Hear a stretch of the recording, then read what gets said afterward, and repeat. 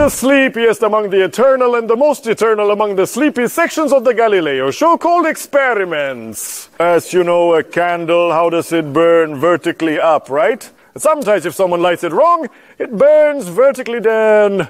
But my candle will burn horizontally. Dear viewers, let me reveal a small secret to you. We've already filmed this experiment twice, and both times it didn't work out. Do you know why? Think because our hands are crooked? No, just experience is shit. We're trying to make something interesting out of it, but we can't. If you see someone doing the same experiment in another show, spit right at his screen, okay?